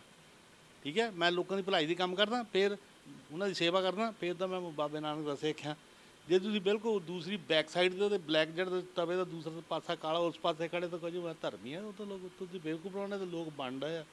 ਤੇ ਜੇ ਲੋਕ ਬਣਦੇ, ਤੁਸੀਂ ਇਹ ਨਾ ਸੋਚੋ ਵੀ ਇਹਨਾਂ ਨੂੰ ਬੇਵਕੂਫ ਬਣਾਇਆ ਤੁਸੀਂ ਸਮਝੋ ਕੁਝ ਇਹਦਾ ਮਤਲਬ ਤੁਸੀਂ ਬੇਵਕੂਫ ਹੈ। ਇੱਕ ਲੋਕਾਂ ਨੂੰ ਜਿਹਨਾਂ ਸ਼ਰੀਫ, ਇਮਾਨਦਾਰ ਲੋਕ ਜਿਹੜੇ ਤੁਹਾਨੂੰ ਆ ਕੇ ਚੜਾਵਾ ਦਿੰਦੇ ਤੁਸੀਂ ਉਹਨਾਂ ਨੂੰ ਬੇਵਕੂਫ ਬਣਾਉਂਦਾ ਕੁਦਰਤ ਤੋਂ ਡਰਨਾ ਚਾਹੀਦਾ? ਤੁਸੀਂ ਫਿਰ ਜੇਲ੍ਹਾਂ ਚ ਬੰਦ ਹੋਗੇ ਇਦਾਂ ਦੇ ਜਿਹੜੇ ਲੋਕ ਆ। ਵੀ ਇਦਾਂ ਦਾ ਨਾਰਵੇ ਦੇ ਵਿੱਚ ਲੋਕ ਰੱਬ ਨੂੰ ਕਿਵੇਂ ਮੰਨਦੇ ਨੇ ਉਹ ਮਾਨਸਿਕ ਸ਼ਾਂਤੀ ਦੇ ਵਾਸਤੇ ਕਿੱਦਾਂ ਦੇ ਉਦਮ ਕਰਦੇ ਨੇ? ਨਾਰਵੇ ਦੀ ਤੁਸੀਂ ਗੱਲ ਕੀਤੀ ਹੈ ਤਾਂ ਨਾਰਵੇ ਦੇ ਵਿੱਚ ਲੋਕ ਧਰਮੀ ਮੈਂ ਇਹ ਨਹੀਂ ਕਹਿ ਸਕਦਾ ਧਰਮੀ ਨਹੀਂ ਹੈਗੇ ਉਹ ਧਰਮੀ ਹੈਗੇ ਆ। ਉਹਨਾਂ ਦਾ ਜਿਹੜਾ ਦੱਸਣ ਦਾ ਢੰਗ ਉਹ ਧਰਮੀ ਨਹੀਂ ਲੱਗੂਗਾ ਤੁਹਾਨੂੰ ਜਾਂ ਉਹ ਜਿਹੜਾ ਕੰਮ ਕਰਦੇ ਉਹ ਧਰਮੀ ਆ। ਜੀ। ਇੱਕ ਤਾਂ ਜੌਬ ਕਰਦੇ ਸਦਾ ਨੂੰ ਉਹਦੀ ਕਿਰਤ ਕਰਦੇ ਟੈਕਸ ਦਿੰਦੇ ਟੈਕਸ ਦਿੰਦੇ ਕੋਈ ਵਰਲਡ ਦੇ ਵਿੱਚ ਕਿਸੇ ਵੀ ਸ਼ਹਿਰ ਦੇ ਵਿੱਚ ਕਿਸੇ ਮੁਲਕ ਦੇ ਵਿੱਚ ਕੋਈ ਵੀ ਕੁਦਰਤੀ ਐਕਸੀਡੈਂਟ ਜਾਂ ਭੁਚਾਲ ਆ ਜਾਵੇ ਹੜ੍ਹ ਆ ਜਾਵੇ ਜਾਂ ਕੋਈ ਹੋਰ ਆਫਤ ਆ ਜਾਵੇ ਉਹਦੇ ਲਈ ਉਹ ਲੋਕ ਡਾਕਖਾਨੇ ਬੈਂਕ ਜਾ ਕੇ ਉੱਥੇ ਸਲਿੱਪਾਂ ਪਈਆਂ ਹੁੰਦੀਆਂ ਉਸ ਅਕਾਊਂਟ ਨੰਬਰ ਤੇ ਪੈਸੇ ਭੇਜ ਦਿੰਦੇ ਆ ਕਿ ਆ ਅਸੀਂ ਹੈਲਪ ਕੀਤੀ ਹੈ ਜੀ। ਤੇ ਉਹ ਹੈਲਪ ਜਗ੍ਹਾ ਤੇ ਪਹੁੰਚ- ਪਹੁੰਚਦੀ ਆ ਤੇ ਇਹ ਤਾਂ ਹੋਈ ਨਾ ਇੱਕ ਤੁਹਾਡੀ ਜਿਹੜੀ ਮੈਂ ਜੇ ਆਪਣੇ ਉਹਨੂੰ ਲੈ ਕੇ ਜਾਵਾਂ ਮੈਂ ਤਾਂ ਉੱਥੇ ਦੀ ਕਿਉਂਕਿ ਹੋਰ ਧਰਮਾਂ ਦੀ ਗੱਲ ਨਾ ਕਰਾਂ, ਜਿਹੜਾ ਬਾਬਾ ਨਾਨਕ ਕਹਿੰਦਾ ਉਹ ਕਹਿੰਦਾ ਦਸਾਂ ਨੌਂ ਦੀ ਕਿਰਤ ਕਰੋ ਤੇ ਉਹਦੇ ਵੰਡ ਕੇ ਛਕੋ। ਉੱਥੇ ਉਹ ਵੰਡ ਕੇ ਛਕਣ ਵਾਲੀ ਗੱਲ ਕਰਦੇ ਆ। ਉਹਦੇ ਵਿੱਚ ਸਾਨੂੰ, ਮੈਨੂੰ ਇਹ ਲੱਗਦਾ ਕਿ ਅਸੀਂ ਸਿੱਖ ਘੱਟ ਆ, ਉਹ ਲੋਕ ਜ਼ਿਆਦਾ ਸਿੱਖੀ ਦੇ ਨੇੜੇ ਆ। ਮੈਨੂੰ ਇਹ ਲੱਗਦਾ ਹੈ ਜੇ ਸਿੱਖ। ਉਹਨਾਂ ਦੀ ਜਿਹੜੇ ਕੰਮ ਕਰਨ ਦੇ ਢੰਗ ਹੈ ਨਾ, ਉਹ ਸਾਨੂੰ ਚੇਂਜ ਕਰਨੇ ਪੈਣੇ ਇਹ ਨਹੀਂ ਵੀ ਤੁਸੀਂ ਉਹਦਾ ਪਹਿਰਾਵਾ ਪਾ ਕੇ ਆਪਣੇ ਨੂੰ ਦੱਸੋ, ਮੈਂ ਇਸ ਧਰਮ ਦਾ, ਮੈਂ ਉਸ ਧਰਮ ਦਾ, ਉਹ ਨਹੀਂ ਗੱਲ ਬਣਦੀ। ਤੁਹਾਡੇ ਵਿੱਚੋਂ ਲੋਕ ਕਹਿਣ ਵੀ ਇਹ ਧਰਮੀ ਆ, ਉਹ ਕਹਿਣ, ਤੁਸੀਂ ਨਾ ਖਾਓ। ਵੀ ਮੈਂ ਬਾਬਾ ਹਾਂ ਜਾਂ ਮੈਂ ਧਰਮੀ ਆ ਧਰਮੀ ਦੇ ਨਹੀਂ ਕਿ ਪ੍ਰਮਾਤਮਾ ਨੂੰ ਲੋਕ ਮੰਨਦੇ ਉਹਦੀ ਉਹ ਸ਼ਕਲ ਨਹੀਂ ਕਿਸੇ ਨੂੰ ਦਿਖਾਲੀ ਪ੍ਰਮਾਤਮਾ ਨੇ। ਫਿਰ ਵੀ ਅਸੀਂ ਕਹਿੰਦੇ ਪ੍ਰਮਾਤਮਾ ਹੈਗਾ। ਠੀਕ ਹੈ? ਇਹ ਸ਼ਕਲ ਆਪਣੀ ਨੂੰ ਉਹਦੇ ਨਾਲ ਜੋੜ ਕੇ ਤੁਹਾਨੂੰ ਪੇਸ਼ ਕਰਦੇ ਆ। ਤੁਹਾਡੀ ਸ਼ਕਲ ਨਹੀਂ ਉਹਨਾਂ ਨੂੰ ਵੀ ਉਹ ਪ੍ਰਮਾਤਮਾ, ਉਹਦੇ ਵਿੱਚ ਵੀ ਉਹੀ ਬੰਦਾ, ਉਹੀ ਸਿਸਟਮ ਉਹਦਾ ਚੱਲਦਾ, ਉਹੀ ਸਿਸਟਮ ਚੱਲਦਾ। ਤੇਰੀ ਗੱਡੀ ਕੋਈ ਸਪੈਸ਼ਲ ਤੇਲ ਨਾਲ ਚੱਲਦੀ, ਜਿੱਦਾਂ ਬਾਕੀ ਗੱਡੀਆਂ ਡੀਜ਼ਲ ਪੈਟਰੋਲ ਨਾਲ ਚੱਲਦੀਆਂ, ਉਦਾਂ ਹੀ ਤੇਰੀ ਵੀ ਚੱਲਦੀ ਹੈ। ਠੀਕ ਹੈ? ਇੱਦਾਂ ਤੁਹਾਡੀ ਲਾਈਫ ਹੈ, ਤੁਸੀਂ ਵੀ ਉਸੇ ਐਟਮੋਸਫੇਅਰ ਦੇ ਵਿੱਚ ਰਹਿੰਦੇ ਆ। ਉਹੀ ਆਕਸੀਜਨ ਹੈ, ਉਹੀ ਹਵਾ ਹੈ, ਉਹੀ ਪ੍ਰਦੂਸ਼ਣ ਹੈ, ਉਹ ਤੁਸੀਂ ਵੀ ਨਾਲੇ ਰਹਿੰਦੇ ਕਿਸੇ ਨੂੰ ਜਾਤ ਬਰਾਦਰੀ ਕਰਕੇ ਉਹਨੂੰ ਕੱਟਣ ਦਾ ਤੁਸੀਂ ਛੋਟੀ ਜਾਤ ਹੈ ਜਾਂ ਬੜੀ ਜਾਤ ਹੈ ਉਹਦਾ ਰਹਿਣ ਦਾ ਢੰਗ ਤਾਂ ਉਸੇ ਗਲੋਬਲ ਦੇ ਵਿੱਚ ਜਦ ਤੱਕ ਉਹ ਜੀ ਤੁਸੀਂ ਇੱਕ ਇੱਕ ਆਪਣਾ ਗੁਬਾਰਾ ਬਣਾਇਓ, ਉਹਦੇ ਵਿੱਚ ਰਹਿੰਦੇ ਤੁਸੀਂ 에ਅਰ ਵੀ ਕਿਤੇ ਉਧਰੋਂ ਲੈਂਦੇ ਹਵਾ ਸਾਰੀ ਆਕਸੀਜਨ ਤੁਸੀਂ ਉਧਰੋਂ ਲੈਂਦੇ ਉਹੀ ਸਾਹ ਸਾਰਿਆਂ ਲਈ ਫਿਰਦਾ, ਸਾਰੀ ਦੁਨੀਆ ਦੇ ਵਿੱਚ ਉਹੀ ਆ। ਕੋਈ ਕਿਸੇ ਨੂੰ ਜਾਤ ਬਰਾਦਰੀ ਰੰਗ ਦੇਖ ਕੇ ਉਹਨੂੰ ਤੁਸੀਂ ਕ੍ਰਿਟਿਸਾਈਜ਼ ਕਰਦੇ ਆ ਨੀਵਾ ਦਿਖਾਲਦੇ ਆ ਇਹਦਾ ਮਤਲਬ ਤੁਸੀਂ ਕਿ ਧਰਮੀ ਨਹੀਂ ਹੈਗੇ। ਇਹ ਤਾਂ ਬਿਲਕੁਲ ਸਟੈਪ ਜਦੋਂ ਸਟੈਂਪ ਲੱਗੀ ਹੁੰਦੀ ਹੈ ਨਾ ਇਹਦੇ, ਉਹ ਤੁਹਾਡੇ ਉੱਤੇ ਲੱਗ ਚੁੱਕੀ ਹੈ ਤੁਸੀਂ ਉਹਨੂੰ ਉਹਨੂੰ ਧੋਣ ਦੀ ਕੋਸ਼ਿਸ਼ ਕਰਦੇ ਨਹੀਂ। ਜੋ ਸਾਫ਼ ਹੋ ਜਾਂਦੀ ਹੈ ਉਹ ਐਡੀ ਗੱਲ ਨਹੀਂ ਸਾਫ਼ ਹੋ ਸਕਦੀ ਹੈ ਪਰ ਤੁਹਾਡਾ ਕਰੈਕਟਰ ਇਦਾਂ ਦਾ ਤੁਸੀਂ ਉਹ ਧੁੰਦਲੇ ਦੇ ਵਿੱਚ ਹੀ ਲਾਈਫ ਲਗਾ ਦਿੰਦੇ ਆ। ਜਦੇ ਪਤਾ ਲੱਗਦਾ ਤੁਹਾਡੇ ਤੇ ਕੋਈ ਕੋਈ ਨਾ ਕੋਈ ਬਲਤਕਾਰ ਦਾ ਜਾਂ ਚੋਰੀ ਦਾ ਜਾਂ ਇਲਜ਼ਾਮ ਲੱਗ ਗਿਆ। ਕਿੰਨੇ ਕਿੰਨੇ ਮੰਦਰ ਗੁਰਦੁਆਰੇ ਮਸਜਿਦ ਹੈਗੀਆਂ ਜਿਨ੍ਹਾਂ 'ਚ ਕਰੋੜਾਂ ਰੁਪਏ ਆਉਂਦਾ ਠੀਕ ਹੈ? ਉਹ ਜਿਹੜਾ ਉੱਥੇ ਦੀ ਇਨਕਮ ਦੇ ਸਾਧਨ ਹੈ ਉਹ ਤੁਸੀਂ ਕਿੱਥੇ ਵਰਤੇ? ਤੁਸੀਂ ਜੇ ਕਿਤੇ ਸਕੂਲ ਖੋਲ ਦਿੰਦੇ ਆ ਜਾਂ ਹਸਪੀਟਲ ਖੋਲ ਦਿੰਦੇ ਆ ਉਹਦੇ 'ਚ ਉਹਨਾਂ ਲੋਕਾਂ ਦਾ ਇਲਾਜ ਹੋਊਗਾ ਜਿਹੜੇ ਤੁਹਾਡੇ ਵਾਕਫ ਆ ਗਰੀਬ ਦਾ ਇਲਾਜ ਨਹੀਂ ਹੁੰਦਾ ਫਿਰ ਉਹ ਧਰਮੀ ਹਸਪੀਟਲ ਨਹੀਂ ਉਹਨੂੰ ਕਿਹਾ ਜਾ ਸਕਦਾ। ਤੁਸੀਂ ਇੱਕ ਪ੍ਰਾਈਵੇਟ ਜਿੱਦਾਂ ਖੋਲ ਕੇ ਬੈਠੇ ਆਪਣਾ ਉਹ ਚਲਾਉਣ ਦੇ ਜੇ ਧਰਮੀ ਹੈ ਤਾਂ ਜਿਹੜਾ ਵੀ ਆਉਂਦਾ ਉਹਦਾ ਇਲਾਜ ਹੋਵੇ ਉਹਨੂੰ ਉਹ ਇੱਕ ਇਨਸਾਨ ਦੇ ਨਾਤੇ ਨਾਲ ਹੀ ਸਮਝ ਕੇ ਉਹਦਾ ਇਲਾਜ ਹੋਣਾ ਚਾਹੀਦਾ। ਇਹ ਨਹੀਂ ਉਹ ਜਾਤ ਬਾਦਰੀ ਉਹ ਬਰਾਦਰੀ ਦਾ ਉਹ ਜੋ ਕੌਮ ਦਾ ਉਹ ਫਿਰ ਤੁਸੀਂ ਧਰਮੀ ਨਹੀਂ ਰਹਿੰਦੇ, ਧਰਮੀ ਬਣਨਾ ਕੋਈ ਈਜ਼ੀ ਕੰਮ ਹੈ ਨਹੀਂ, ਬੜਾ ਔਖਾ ਕੰਮ ਹੈ। ਉਹਦੇ ਲਈ ਤੁਹਾਨੂੰ ਜ਼ਮੀਨ ਤੇ ਆਉਣਾ ਪਊਗਾ। ਹਵਾ 'ਚ ਨਹੀਂ ਆਉਣਾ। ਫਿਰ ਨਹੀਂ ਉਹ ਕੰਮ ਚੱਲਦਾ, ਤੁਹਾਨੂੰ ਜ਼ਮੀਨ ਤੇ ਆ ਕੇ ਉਹਨਾਂ ਲੋਕਾਂ ਦੇ ਵਿੱਚ ਵਿਚਰੋ, ਉਹਨਾਂ ਦੀ ਹੈਲਪ ਕਰੋ ਜੇ ਧਰਮੀ ਬਣਨ ਜੇ ਕਹਾਉਣਾ ਲੋਕ ਲੋਕ ਤੁਹਾਨੂੰ ਧਰਮੀ ਕਹਿਣ। ਫਿਰ ਤਾਂ ਤੁਸੀਂ ਮੰਨ ਲੈਣੇ ਵੀ ਤੁਸੀਂ ਧਰਮੀ ਜੇ ਤੁਹਾਡਾ ਕੰਮ ਦੇ ਸਕੋ ਕੋਈ ਤੁਸੀਂ ਇਹ ਨਾ ਨਾ ਬਰੂਪੀਏ ਐਕਟਰ ਬਣ ਜਾਓ ਵੀ ਮੈਂ ਐਕਟਰ ਹਾਂ। ਐਕਟਰ ਦੀ ਲਾਈਫ ਅਸੀਂ ਦੇਖੀਏ ਵੀ ਤੁਹਾਨੂੰ ਪੜਦੇ ਤੇ ਉਹ ਕੀ ਦਿਖਾਉਂਦਾ ਪਿੱਛੇ ਕੀ ਹੈ ਹੁਣ ਸਾਨੂੰ ਪਿੱਛੇ ਦੇਖਣ ਦੀ ਲੋੜ ਹੈ ਫਿਲਮ ਦੇਖਣ ਦੀ ਲੋੜ ਨਹੀਂ ਹੈਗੀ। ਆਖਰ ਇਹ ਜਿਹੜੇ ਦੇਸ਼ ਦੇ ਅੰਦਰ ਮਾਨਸਿਕ ਰੋਗੀ ਲੋਕ ਜ਼ਿਆਦਾ ਗਿਣਤੀ ਦੇ ਵਿੱਚ ਜਿਹੜੇ ਰਹਿ ਰਹੇ ਨੇ, ਜਿਨ੍ਹਾਂ ਦੀ ਇਹ ਧਾਰਨਾ ਹੈ ਕਿ ਸਾਡਾ ਇਸ ਧਾਰਮਿਕ ਸਥਾਨ ਤੇ ਮੱਥਾ ਟੇਕਣ ਦੇ ਨਾਲ, ਸ਼ਰਧਾ ਦੇ ਨਾਲ ਸਾਡਾ ਬੇੜਾ ਪਾਰ ਹੋ ਜਾਣਾ, ਅਸੀਂ ਵਿਦੇਸ਼ ਚਲ ਜਾਣਾ, ਬੱਚਿਆਂ ਨੇ ਪਾਸ ਹੋ ਜਾਣਾ, ਉਹਨਾਂ ਲੋਕਾਂ ਨੂੰ ਕੀ ਕਹਿਣਾ ਚਾਹੁੰਦੇ ਹੋ ਤਾਂ ਕਿ ਦੇਸ਼ ਤਰੱਕੀ ਕਰ ਸਕੇ? ਜਿਹੜੇ ਲੋਕਾਂ ਦੀ ਇਹ ਮਾਨਸਿਕ ਜਿਹੜੀ ਪ੍ਰੋਬਲਮ ਹੈ ਨਾ ਜਦੋਂ- ਅਸੀਂ ਜਦ ਆਜ਼ਾਦ ਹੋਏ ਆ, ਉਸ ਤੋਂ ਪਹਿਲਾਂ ਤੋਂ ਚੱਲੀਆਂ ਹੁੰਦੀਆਂ, ਫਿਰ ਆਜ਼ਾਦੀ ਤੋਂ ਬਾਅਦ ਅਸੀਂ ਲੋਕਾਂ ਨੇ ਉਹ ਚੀਜ਼ ਨੂੰ ਸੋਚਿਆ ਨਹੀਂ, ਕੋਈ ਬਾਹਰਲੇ ਕਿਸੇ ਹੋਰ ਧਰਮ ਦੀ ਗੱਲ ਨਹੀਂ ਕੀਤੀ, ਮਤਲਬ ਉਹ ਕਿਉਂਕਿ ਇਹਨਾਂ ਦਾ ਜਿਹੜਾ ਧਰਮ ਧਰਮ ਜਿਹਨੂੰ ਅਸੀਂ ਧਰਮ ਕਹਿੰਦੇ ਹਾਂ ਧਰਮ ਨੂੰ ਬਦਨਾਮ ਕਰਨ ਵਾਲੀ ਗੱਲ ਹੈ, ਇਹ ਇੱਕ ਬਿਜ਼ਨਸ ਹੈ। ਆਪਣਾ ਬਿਜ਼ਨਸ ਚਲਾਉਣ ਲਈ ਇਹ ਦੂਏ ਦੀ ਭਾਵੇਂ ਜਾਨ ਚੱਲ ਜਾਏ ਇਹ ਅੱਜ ਕੱਲ੍ਹ ਆਮ ਉੱਥੇ ਹੈ ਕਿ ਵੀ ਜੇ ਪੁਲਿਸ ਦੇ ਵਿੱਚ ਭਰਤੀ ਜਾਂ ਮਿਲਟਰੀ ਦੇ ਵਿੱਚ ਭਰਤੀ ਉਹਦੀ ਜਾਨ ਲਈ ਉਹਨੂੰ ਉੱਥੇ ਰੱਖਿਆ ਹੋਇਆ। ਉਹ ਤੇ ਕੁਰਬਾਨ ਹੋਣ ਲਈ ਨਹੀਂ ਗੱਲ ਕਰਦੇ ਉਹਨੂੰ ਕੁਰਬਾਨ ਆਪਣੇ ਲਈ ਕਰਾਉਣ ਲਈ ਦੇਸ਼ ਦਾ ਕਹਿੰਦੇ ਜੇ ਦੇਸ਼ ਭਗਤ ਹੈ ਦੇਸ਼ ਭਗਤ ਨਹੀਂ ਹੈਗਾ ਤੁਸੀਂ ਉਹਨੂੰ ਤਨਖਾਹ ਦੇ ਉੱਤੇ ਲਾ ਕੇ ਮੋਹਰੇ ਕਰ ਦਿੰਦੇ ਹੋ, ਉਹ ਗੋਲੀ ਖਾਂਦਾ ਤਾਂ ਉਹ ਸ਼ਹੀਦ ਹੋ ਜਾਂਦਾ ਸ਼ਹੀਦ ਦੀ ਜੋ ਬਾਅਦ ਚ ਹਿੰਦੁਸਤਾਨ ਚ ਰਿਸਪੈਕਟ ਹੁੰਦੀ ਹੈ ਉਹ ਸਾਰੇ ਅਸੀਂ ਜਾਣਦੇ ਆ। ਸਾਨੂੰ ਬਹੁਤ ਦੱਸਣ ਦੀ ਲੋੜ ਨਹੀਂ। ਕਹਿਣ ਦਾ ਮਤਲਬ ਕਿ ਜੋ ਇੱਥੇ ਦਾ ਸਿਸਟਮ ਹੈ ਉਹਦੇ ਵਿੱਚ ਮਾਨਸਿਕ ਰੋਗ ਜਿਹੜੇ ਆ ਨਾ ਉਹਨਾਂ ਦੀ ਹੈਲਪ ਕਰਨ ਲਈ ਉਹਨੂੰ ਜਾਣ ਕੇ ਉਦੋਂ ਲੈ ਜੀਦਾ ਸੀ। ਹੋਰ ਸਾਡੇ ਕੋਲ ਕੋਈ ਇਲਾਜ ਨਹੀਂ। ਉਹਦੇ ਤੇ ਇਹੀ ਦੇਖਦੇ ਉਹ ਮੰਦਰ ਚੱਲਦਾ ਹੈ ਮਸਜਿਦ ਚੱਲਦਾ ਹੈ ਗੁਰਦੁਆਰੇ ਚੱਲਦੇ ਇੱਥੇ ਜਾ ਕੇ ਠੀਕ ਹੋ ਜੂਗਾ ਮਤਲਬ ਹੋਰ ਕੋਈ ਇਲਾਜ ਨਹੀਂ ਬਹੁਤ ਜੇ ਆਪਾਂ ਥੋੜੇ ਜਿਹਾ ਥੋੜਾ ਜਿਹਾ ਇਸ ਟਰੈਕ ਤੋਂ ਬਾਹਰ ਚਲ ਜਾਈਏ ਬਹੁਤ ਬੱਚੇ ਹਿੰਦੁਸਤਾਨ ਦੇ ਐਸੇ ਆ ਜਿਹੜੇ ਡਰੱਗ ਨਸ਼ੇ ਦੇ ਵਿੱਚ ਪੈ ਗਏ ਉਹ ਜੌਬਾਂ ਦੀ ਪ੍ਰੋਬਲਮ ਕਰਕੇ ਪੈ ਗਏ ਤੇ ਉਹਨਾਂ ਬੱਚਿਆਂ ਨੂੰ ਫਿਰ ਜਿਹੜੇ ਮਾਵਾਂ ਜਾਂ ਪੇਰੈਂਟਸ ਹੈ ਨਾ ਉਹ ਕਹਿੰਦੇ ਤਾਂ ਵਿਆਹ ਕਰ ਦਿੱਤਾ ਜਾਵੇ। ਵਿਆਹ ਨਾਲ ਵੀ ਨਸ਼ਾ ਛੱਡ ਦੂਗਾ। ਜਦੋਂ ਇੰਨੇ ਟ੍ਰੀਟਮੈਂਟਾਂ ਨਾਲ ਹੀ ਨਸ਼ਾ ਛੱਡਦਾ ਵਿਆਹ ਨਾਲ ਕਿੱਦਾਂ ਨਸ਼ਾ ਛੱਡ ਦੂਗਾ? ਉਹ ਫਿਰ ਮਾਮਾ ਜਿਹੜੀਆਂ ਉਹ ਜਿਹੜੇ ਗੁਆਂਢੀ ਜਾਲ ਦੁਆਲੇ ਲੋਕ ਹੁੰਦੇ ਆ, ਉਹ ਉਹਨਾਂ ਨੂੰ ਕਹਿੰਦੇ ਇਹਦਾ ਵਿਆਹ ਕਰਤਾ, ਚਲੋ ਕੋਈ ਬਾਲ ਬੱਚਾ ਆ ਜਾਊਗਾ ਤਾਂ ਨਸ਼ਾ ਛੱਡ ਦੂਗਾ। ਉਹ ਜਦੋਂ ਜਦੋਂ ਨਹੀਂ ਕੋਈ ਇਦਾਂ ਦੀ ਉੱਥੇ ਆਸ ਰਹਿੰਦੀ ਤਾਂ ਮਾਮਾ ਜਾ ਕੇ ਅੱਜ ਕੱਲ੍ਹ ਡਾਕਟਰਾਂ ਦੇ ਕੋਲ ਉਹਦਾ ਇੰਜੈਕਸ਼ਨ, ਬੇਬੀ ਟਿਊਬ, ਬੇਬੀ ਦਾ ਅਰੇਂਜਮੈਂਟ ਕਰ ਦਿੰਦੇ। ਜਦ ਉਹਨੂੰ ਪਤਾ ਲੱਗਦਾ ਨਾ ਵੀ ਮੈਂ ਤਾਂ ਇਹ ਕਦੀ ਆਪਣੀ ਬੀਵੀ ਨੂੰ ਦੇਖਿਆ ਹੀ ਨਹੀਂ, ਮੈਂ ਤਾਂ ਬਾਹਰੇ ਮੈਂ ਤਾਂ ਨਸ਼ਾ ਪੈ ਕੇ ਡਿਆ ਰਹਿਣਾ ਉਹਨੂੰ ਜਦ ਪਤਾ ਲੱਗਦਾ ਨਾ, ਉਹਦੇ ਲਈ ਉਹ ਸੋਚ ਜਿਹੜੀ ਮੈਂ ਦੱਸਦਾ, ਮਾਨਸਿਕ ਉਹਦੀ ਹਾਲਤ ਕਿੱਥੇ ਚੱਲ ਜਾਂਦੀ ਹੈ ਉਹ ਫਿਰ ਨਾ ਕੋਈ ਨਾ ਕੋਈ ਜ਼ਹਿਰ ਖਾ ਕੇ ਮਰ ਜਾਂਦਾ ਜਦ ਕਹਿੰਦੀ ਇਹ ਨਸ਼ੇ ਨਾਲ ਮਰ ਗਿਆ। ਉਹ ਜਿਹਦੇ ਨਾਲ ਤੁਸੀਂ ਇੱਕ ਧੱਕਾ ਕੀਤਾ ਉਹ ਬਿਟੀਆ ਕਿਸੇ ਦੀ ਸੀ ਨਾ ਉਹਨੂੰ ਸਿਰਫ ਇਸੇ ਕਰਕੇ ਲੈ ਵੀ ਸਾਡਾ ਜਿਹੜਾ ਲੜਕਾ ਉਹਦਾ ਟ੍ਰੀਟਮੈਂਟ ਹੋ ਜਾਊਗਾ। ਠੀਕ ਨਹੀਂ ਟ੍ਰੀਟਮੈਂਟ ਨਹੀਂ ਤੁਸੀਂ ਕੀਤਾ ਤੁਸੀਂ ਇੱਕ ਲਾਈਫ ਨਾਲ ਹੋਰ ਖਰਾਬ ਕਰ ਦਿੱਤੀ। ਤੇ ਉਹ ਇਹ ਤੁਹਾਡੀ ਮਾਨਸਿਕ ਹੀ ਸਥਿਤੀ ਹੈ ਜਿਹੜੀ ਤੁਸੀਂ ਤੁਹਾਡੀ ਵੀ ਉਨੀ ਉਹ ਜਿਹੜਾ ਨਸ਼ਾ ਕਰਦਾ ਉਹਦੇ ਤੁਸੀਂ ਪੇਰੈਂਟ ਹੈ। ਤੁਹਾਡੀ ਨਾਲ ਮਾਨਸਿਕ ਇਹ ਵੀ ਉਹ ਬੱਚਾ ਹੋ ਜਾਊਗਾ ਜਦ ਬਹੂ ਆ ਜਾਊਗੀ ਉਹ ਨਾਲ ਇਦਾਂ ਚੇਂਜ ਹੋ ਜਾਊਗਾ। ਮਤਲਬ ਤੁਹਾਡੀ ਮਾਨਸਿਕਤਾ ਜਿਹੜੀ ਹੈ ਨਾ ਉਹ ਵੀ ਖਰਾਬ ਹੈ ਨਾਲ ਬਿਲਕੁਲ। ਤੁਸੀਂ ਉਸ ਲਾਈਨ ਦੇ ਖੋਦਿਆਂ ਆ ਜਿਹਦੇ ਕਰਕੇ ਤੁਸੀਂ ਸਾਰੇ ਬੱਚਿਆਂ ਨੂੰ ਪਹਿਲਾਂ ਤੋਂ ਹੀ ਚਲੋ ਤੈਨੂੰ ਉੱਥੇ ਲੈ ਚਲੀ ਜਦੋਂ ਤੈਨੂੰ ਉੱਥੇ ਲੈ ਜਾ ਤੈਨੂੰ ਉਸ ਬਾਬੇ ਦੇ ਲੈ ਚਲੀਏ। ਉਹ ਚੀਜ਼ ਹੈ ਵੀ ਜਾਤੀ ਅਸੀਂ ਇੱਥੇ ਜਿਹੜੇ ਲੋਕ ਰਹਿੰਦੇ ਆ ਨਾ, ਉਹ ਉਹ ਲੋਕਾਂ ਦੇ ਕੋਲ ਹੋਰ ਕੋਈ ਚਾਂਸ ਹੈ ਨਹੀਂ। ਡਾਕਟਰ ਕੋਲ ਜਾਣ ਜੋਗੇ ਪੈਸੇ ਹੈ ਨਹੀਂ। ਗੁਰਦੁਆਰੇ ਜਾ ਕੇ ਹੋਰ ਦਾ ਪੈਸੇ ਦੇਣ ਨੂੰ ਫੇਰ ਨਹੀਂ। ਉੱਥੇ ਪੈਸੇ ਦੇਣੇ ਪੈਣੇ ਆ, ਜਾਂ ਲੋਕਾਂ ਨੂੰ ਸ਼ਰਮ ਦੇ ਤੌਰ ਤੇ ਦੇਣੇ ਪੈਂਦੇ। ਉਹ ਫਿਰ ਬਾਬੇ ਦੀ ਜਿਹੜੀ ਹੈ ਛੋਟੀ ਛੋਟੀ ਸਮਾਧਾਂ ਬਣਾਈਆਂ ਨਾ ਉਹਨਾਂ ਨੂੰ ਮੰਨ ਲੈਂਦੇ ਪਈ ਰੱਬ ਇੱਥੇ ਮੱਥਾ ਟੇਕੋ, ਬੱਚੇ ਵੀ ਉੱਥੇ ਟੇਕਣਾ ਪੈਂਦਾ, ਉਹਨੂੰ ਉਸ ਪਾਸੇ ਟ੍ਰੇਨ ਕਰ ਦਿੰਦੇ ਟ੍ਰੇਨ ਕਰਕੇ ਉਹ ਸਾਰੀ ਹਿੰਦੁਸਤਾਨ ਦੇ ਵਿੱਚ ਕਾਫੀ ਇਹ ਵੀ ਪ੍ਰੋਬਲਮ ਆ ਜਿਹਨੂੰ ਲੋਕਾਂ ਨੂੰ ਗਵਰਨਮੈਂਟ ਨੂੰ ਧਿਆਨ ਦੇਣਾ ਚਾਹੀਦਾ ਇਸ ਪਾਸੇ। ਪਰ ਗਵਰਨਮੈਂਟ ਕਹਿੰਦੀ ਸਾਡੇ ਕੋਲ ਹੋਰ ਕੰਮ ਬੜੇ ਇਹ ਕੰਮ ਹੈ ਨਹੀਂ। ਇਹਨਾਂ ਕੋਲ ਮਤਲਬ ਕੰਮ ਹੈ- ਕੋਈ ਹੈ ਹੀ ਨਹੀਂ ਕਿਉਂਕਿ ਇਹਨਾਂ ਨੇ ਕਰਨਾ ਨਹੀਂ ਜਦੋਂ ਨੀਤ ਨਹੀਂ ਹੈਗੀ ਇਹਨਾਂ ਦੀ। ਜੇ ਇਹਨਾਂ ਦੀ ਨੀਤ ਹੋਵੇ ਉਹਨਾਂ ਨੂੰ ਆਪਣੇ ਬੱਚੇ ਸਮਝਣ ਸਿਟੀਜ਼ਨ ਸਮਝਣ ਆਪਣੇ ਡੈਮੋਕ੍ਰੇਟਿਕ ਮੁਲਕ ਦੇ ਬਸ਼ਿੰਦੇ ਸਮਝਣ ਇਹਨਾਂ ਦੀ ਸੋਚ ਖੁਦ ਚੇਂਜ ਕਰੂਗੇ ਤਾਂ ਹੀ ਤੁਸੀਂ ਮਾਨਸਿਕਤਾ ਦੀ ਚੇਂਜ ਕਰ ਸਕਦੇ ਆ ਅਦਰਵਾਈਜ਼ ਬੜਾ ਮੁਸ਼ਕਲ ਕੰਮ ਹੈ ਬਹੁਤ ਔਖਾ ਕੰਮ ਹੈ। ਇਹਨਾਂ ਦੇ ਬਾਅਦ ਦੀ ਗੱਲ ਹੈ ਨਹੀਂ, ਕਿਉਂਕਿ ਇਹ ਛੇਤੀ ਚੇਂਜ ਹੋਣ ਵਾਲੇ ਬੰਦੇ ਹੈ ਨਹੀਂ। ਨੌਰਵੇ ਸਾਹਿਬ, ਦੇਸ਼ ਦੇ ਉਹ ਆਸਥਾ ਵਾਲੇ ਸਿਸਟਮ ਤੇ ਤੁਸੀਂ ਬੜੇ ਵਿਦੇਸ਼ ਦੇ ਤਰੀਕੇ ਦੇ ਹਿਸਾਬ ਦੇ ਨਾਲ ਕਮੈਂਟ ਕੱਸੇ ਨੇ ਰਸਤਾ ਦੱਸਿਆ ਤਾਂ ਕਿ ਇਸ ਭੈੜੇ ਸਿਸਟਮ ਤੋਂ ਲੋਕ ਬਾਹਰ ਆ ਕੇ ਵਿਦੇਸ਼ਾਂ ਦੇ ਵਾਂਗਰ ਇਹ ਦੇਸ਼ ਵੀ ਤਰੱਕੀ ਕਰੇ ਹੋਰ ਕੁਝ ਕਹਿਣਾ ਚਾਹੁੰਦੇ ਤੁਸੀਂ? ਉਹਦੇ ਵਿੱਚ ਇਹ ਗੱਲ ਹੋ ਰਹੀ ਵੀ ਜਦੋਂ ਉੱਥੇ ਹੈਂਡੀਕੈਪ ਬੱਚੇ ਪੈਦਾ ਹੁੰਦੇ ਨਾ, ਉਹ ਸਾਡੇ ਇੱਥੇ ਉਹਨਾਂ ਨੂੰ ਕਿਸੇ ਨਾ ਕਿਸੇ ਫੈਮਿਲੀ ਦੇ ਵਿੱਚ ਬਹੁਤ ਘੱਟ ਫੈਮਿਲੀ ਹੋਊਗੀ ਹਜ਼ਾਰਾਂ ਚੋਂ ਇੱਕ ਹੋਊਗੀ, ਵੀ ਉਸ ਬੱਚੇ ਨੂੰ ਅੱਜ ਕੱਲ ਸ਼ਾਇਦ ਥੋੜੇ ਬਹੁਤੇ ਹੋਣ ਵੀ ਉਹਨੂੰ ਅਟੈਂਡ ਕਰਨ। ਅਦਰਵਾਈਜ਼ ਤਾਂ ਉਹਨਾਂ ਨੂੰ ਇੱਕ ਸਾਈਡ ਤੇ ਕਰਨ ਦੀ ਕੋਸ਼ਿਸ਼ ਕਰਦੇ, ਜੇ ਦੱਸੂਗੇ ਨਹੀਂ। ਤੇ ਉੱਥੇ ਇਦਾਂ ਨਹੀਂ ਹੈਂਡੀਕੈਪ ਜਿਹੜਾ ਬੱਚਾ ਕਹਿੰਦਾ, ਉਹਨੂੰ ਇੰਨੀਆਂ ਕੁ ਸਹੂਲਤਾਂ ਦਿੱਤੀਆਂ ਜਾਂਦੀਆਂ ਜਾਂ ਉਹਨਾਂ ਦੇ ਪੇਰੈਂਟਸ ਨੂੰ, ਜੋ ਇਹ ਦੂਸਰੇ, ਤੀਸਰੇ ਫਲੋਰ ਤੇ ਰਹਿੰਦੇ, ਮਤਲਬ ਉੱਚੇ ਚਵਾਰੇ 'ਚ ਰਹਿੰਦੇ ਆ ਤਾਂ ਉਹਨਾਂ ਨੂੰ, ਉਹਨਾਂ ਦੀ ਲਿਫਟ ਦਾ ਬੰਦੋਬਸਤ, ਉਹਨਾਂ ਦੀ ਰਹਿਣ ਦਾ ਬੰਦੋਬਸਤ, ਉਹਨਾਂ ਦੇ ਸਕੂਲ ਲੈ ਕੇ ਜਾਣ ਦਾ ਬੰਦੋਬਸਤ ਵੀ ਹਰੇਕ ਕਲਾਸ ਦੇ ਵਿੱਚ ਜਿੱਦਾਂ ਵੀ ਪਹੁੰਚਦਾ ਉਹਨੂੰ ਉੱਥੇ ਪਹੁੰਚਾਇਆ ਜਾਊਗਾ, ਉਹ ਪੜੂਗਾ ਫਿਰ ਉਹਦੇ ਬਾਅਦ ਉਹਨਾਂ ਲਈ ਸਪੈਸ਼ਲ ਰੱਖਿਓ, ਉਹਨਾਂ ਦੀ ਜਿਹੜੀ ਜੌਬ ਕ੍ਰੀਏਟ ਕਰਨ ਨੂੰ। ਜਦੋਂ ਉਹਨੂੰ ਉਹ ਸਹੂਲਤਾਂ ਸਭ ਮਿਲਦੀਆਂ ਤੇ ਉਹਦੇ ਤੇ ਖੁਸ਼ੀ ਨਾਲ ਉਹਦੇ ਵਿੱਚ ਚੇਂਜਿੰਗ ਇੱਕ ਆਊਗੀ। ਖੁਸ਼ੀ ਨਾਲ ਚੇਂਜ ਹੋਣੀ ਆ। ਜਦ ਤੁਸੀਂ ਉਹਨੂੰ ਨਰਵਸ ਕਰ ਰੱਖਣਾ, ਤੂੰ ਹੈਂਡੀਕੈਪ ਹੈ, ਉਹ ਕਹਿੰਦਾ ਉਹਨਾਂ ਥੱਲੇ ਜਾਓ ਡਾਊਨ ਫਾਲੇ ਹੁੰਦਾ। ਮੈਂ ਕਿਸੇ ਅਮੀਰ ਨੂੰ ਕਹਿ ਲਓ ਤੈਨੂੰ ਤਾਂ ਘਾਟਾ ਪੈਣ ਲੱਗ ਪਿਆ। ਉਹ ਵੀ ਸੋਚਣਾ ਪੈਂਦਾ ਮੈਨੂੰ ਘਾਟਾ ਤਾਂ ਪਿਆ ਨਹੀਂ ਫਿਰ ਉਹ ਲੱਭ ਲੈਣ ਨੂੰ ਕੋਈ ਨਾ ਕੋਈ ਜਗ੍ਹਾ ਇੱਥੇ ਘਾਟਾ ਪੈਂਦਾ। ਇਸ ਕਰਕੇ ਜਿਹੜੇ ਲੋਕਾਂ ਦੇ ਦਿਮਾਗੀ, ਉਹਨਾਂ ਬੰਤਿਆਂ ਨੂੰ, ਉਹਨਾਂ ਬੱਚਿਆਂ ਨੂੰ ਜੌਬ ਤੇ ਵੀ ਤੁਸੀਂ ਕੋਸ਼ਿਸ਼ ਕਰੋ। ਜੌਬਾਂ ਵੀ ਦਿਓ। ਜੇ ਛੋਟੇ ਲੈਵਲ ਦੀ ਸ਼ੌਪ ਤੇ ਲੋੜ ਲੈ ਤਾਂ ਜੌਬ ਤੇ ਦਿਓ।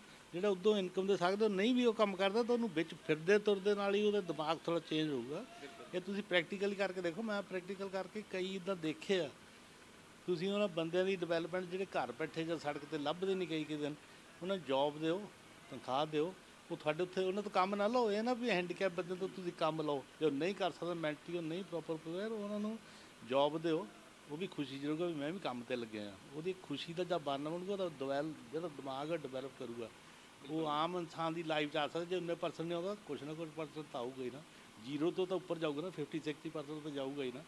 ਤੇ ਉਹ ਤੁਸੀਂ ਜਿਹੜੇ ਇਨਸਾਨ ਹੈ ਜਿਹੜੇ ਸਾਨੂੰ ਸੁਣਦੇ ਆ, ਅਸੀਂ ਕਹਿੰਦੇ ਜੀ, ਅਸੀਂ ਇਨਸਾਨ ਆ। ਇਨਸਾਨ ਦਾ ਕੰਮ ਹੈ ਇਨਸਾਨ ਦੀ ਸੇਵਾ ਕਰਨੀ।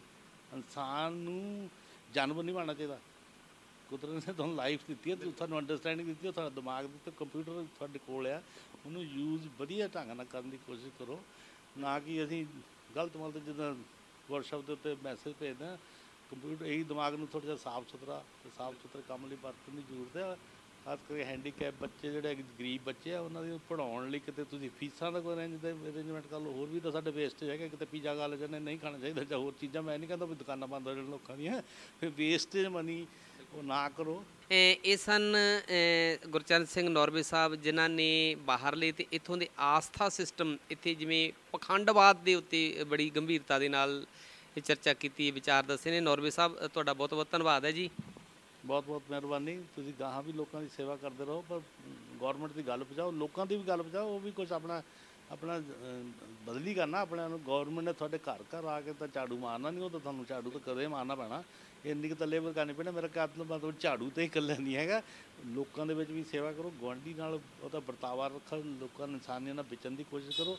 ਗਵਰਨਮੈਂਟ ਦੇ ਵਿੱਚੋਂ ਤੁਹਾਡੇ ਹੀ ਬੰਦੇ ਜਾਣੇ ਅਸੀਂ ਜਾਣਾ ਉੱਥੇ ਜਿਹੜੇ ਜਿਹੜੇ ਜਿਹੜੇ ਅਸੀਂ ਕਹਿੰਦੇ ਸਾਨੂੰ ਪ੍ਰੋਬਲਮ ਹੈ ਉਹਨਾਂ ਲੋਕਾਂ ਨੂੰ ਚੰਗਿਆਂ ਨੂੰ ਇਲੈਕਸ਼ਨਾਂ ਦੇ ਵਿੱਚ ਜਿਤਾਉਣ ਦੀ ਉੱਥੇ ਆਪਣੀ ਪਾਰਟੀ ਦੇ ਵਿੱਚ ਉਸ ਗੱਲ ਦਾ ਸਟੈਂਡ ਲਓ ਵੀ ਇਹ ਬੰਦੇ ਨੂੰ ਗਲਤ ਨੂੰ ਨਾ ਚੁਣਾਓ ਅਸੀਂ ਪਾਰਟੀ ਮਗਰ ਨਹੀਂ ਖੜੇ ਹੈਗੇ ਅਸੀਂ ਬੰਦੇ ਦੀ ਸੋਚ ਮਗਰ ਖੜੇ ਆ ਸੋਚ ਵਾਲੇ ਬੰਦੇ ਤਾਂ ਹੀ ਮੋਰੇ ਆਉਗੇ। ਅਸੀਂ ਪਾਰਟੀ ਮਗਰ ਆਉਂਦੇ ਇਸ ਕਰਕੇ ਸਾਡੀ ਇੱਥੇ ਹਿੰਦੁਸਤਾਨ ਦੇ ਵਿੱਚ ਬਹੁਤਾ ਜ਼ਿਆਦਾ ਬੇੜਾ ਗਰਕ ਹੋ ਜਾਂਦਾ। ਪਾਰਟੀ ਤੇ ਪਾਰਟੀ ਤੇ ਹੀ ਕੰਮ ਕਰਦੀ ਹੈ ਲੋਕਾਂ ਦੀ ਦੇਖਭਾਲ ਨਹੀਂ ਕਰਦੀ। ਬਹੁਤ ਬਹੁਤ ਧੰਨਵਾਦ ਜੀ। ਇਹ ਸਨ ਗੁਰਚਰਨ ਸਿੰਘ ਨੌਰਵੇ ਸਾਹਿਬ ਜਿਹੜੇ ਲੰਬਾ ਸਮੇਂ ਤੋਂ ਨੌਰਵੇ ਦੇ ਵਿੱਚ ਰਹਿ ਰਹੇ ਨੇ। ਇਹ ਇਹ ਜਦੋਂ ਵੀ ਆਉਂਦੇ ਨੇ ਇਹਨਾਂ ਦੀ ਕੋਸ਼ਿਸ਼ ਹੁੰਦੀ ਹੈ ਕਿ ਦੇਸ਼ ਵਾਸੀਆਂ ਨੂੰ ਆਪਣਾ ਮੈਸੇਜ ਦਿੱਤਾ ਜਾਵੇ ਤਾਂ ਕਿ ਦੇਸ਼ ਜਿਹੜਾ ਆ ਉਹ ਵਿਦੇਸ਼ਾਂ ਦੀ ਤਰ੍ਹਾਂ ਤਰੱਕੀ ਕਰ ਸਕੇ। ਅ, ਨੌਰਵੇ ਸਾਹਿਬ ਦਾ ਬੜਾ ਬੜਾ ਧੰਨਵਾਦ ਹੈ। ਮੈਂ ਤੁਹਾਡਾ ਆਪਣਾ ਨਿਰਮਲ ਗੁੜਾ। ਦੇਖਦੇ ਰਹੋ ਤੁਸੀਂ ਸਾਂਝ ਟੀਵੀ।